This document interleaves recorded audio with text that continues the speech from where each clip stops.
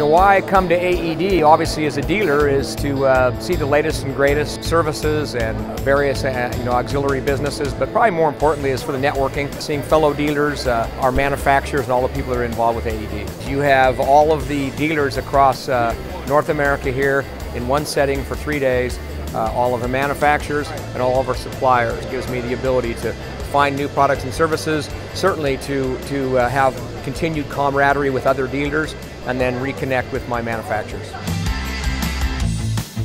It's a nice platform for all the salespeople and the customers to come at one place and to have a discussion early in the year uh, what's going on for the upcoming year.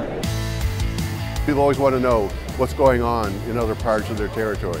You know, everyone's facing the same thing with the shortage of uh, service technicians, that type of thing. They're addressing that here at the show, which is great as well. So, the show's good for us and good for the industry. So let's give a big round of applause for Speaker Boehner and Brian.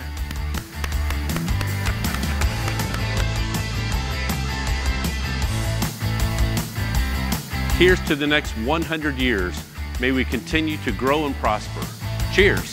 If you're considering coming next year, just do it. You will get way more out of it than what the cost is. The relationships you build, the, the knowledge you can gain, learning about the industry more and more, it's worth every minute. Nothing tops this.